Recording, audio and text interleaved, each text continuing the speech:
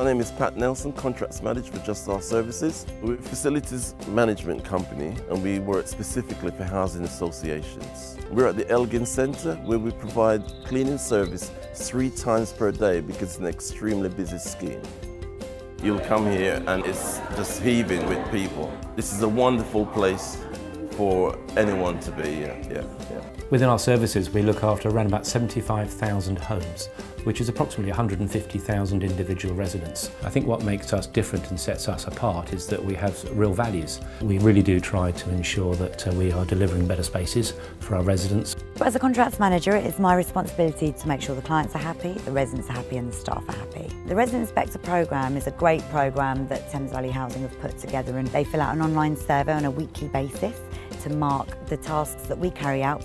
Any issues are then picked up on by our resident liaison officer, uh, by our team supervisors, and they're put right right away. To know that Sunhull is there is a, a comfort to all of us because she's a good girl.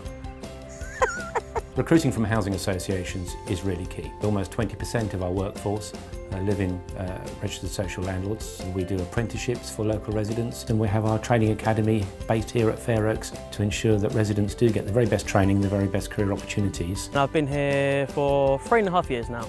At first I started as an apprentice, so I was basically learning at college and also learning at the same time at work.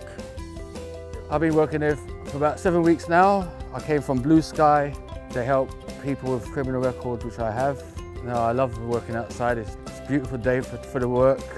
Sun's out. What more can you ask for?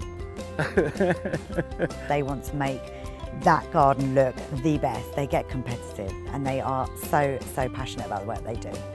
Everyone deserves an opportunity. Where we work and the places we work around, the opportunities are there, but the people are underserved and not always given these opportunities.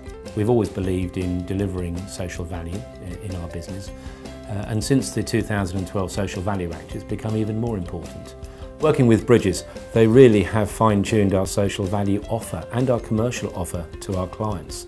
We were doing some of these things already, but what they've been able to bring is a real focus and a real sharpness to the business. What I like about this job is the environment um, that we provide for the people, the jobs and training, and helping the community. We're not just a commercial business, we're just taking, we're also giving back into the community as well.